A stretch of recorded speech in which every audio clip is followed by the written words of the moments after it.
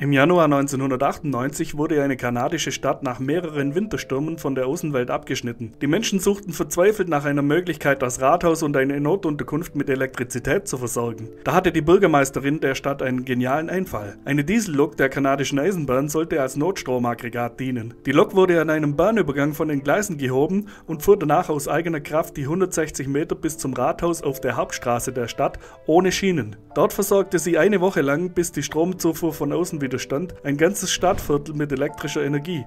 Folgt mir auf YouTube, wenn ihr mehr über diesen kuriosen Vorfall erfahren wollt. Bis gleich. Tschüss. Euer Micha.